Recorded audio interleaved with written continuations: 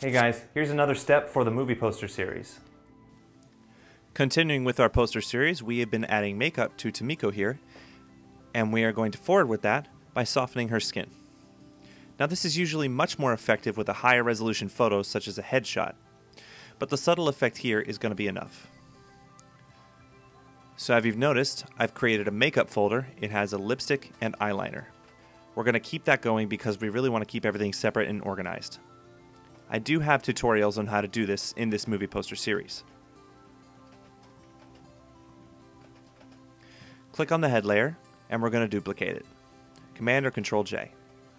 Rename it, call it Soft Skin. Now we're going to move it into the makeup folder and make sure it is below all the other makeup.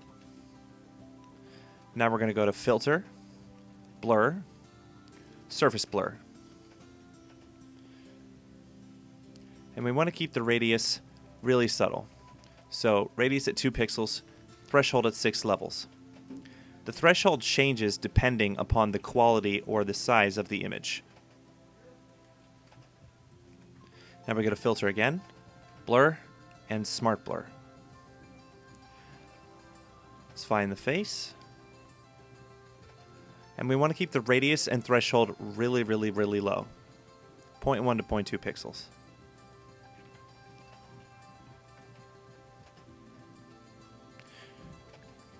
That's a very subtle effect that helps kind of uniformly blur everything so it doesn't look awkward or out of place.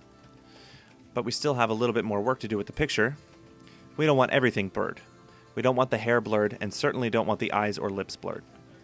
So grab the eraser tool, set the size to something acceptable to get through the eyes and the lips.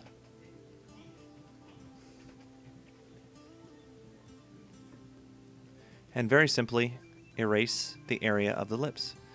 And you can see that the detail comes back and her lips pop out the way they should. And we'll do the same with her eyes.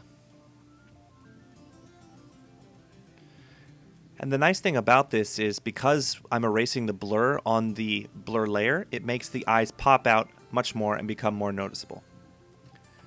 And now we make our eraser brush larger and we erase the blur around the hair. That way it gets its detail back.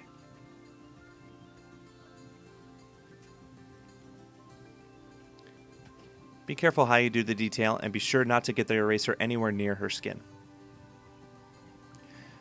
And now the last thing we want to do is change the opacity of this layer to 75% so the effect can be a little bit more subtle. So the before and after doesn't really show on YouTube the effect, but you will definitely be able to see in Photoshop. I encourage you to try this on Photoshop or pictures that are strictly faces. So in the next couple of tutorials, I'm going to show you a couple of techniques on how to improve and change hair.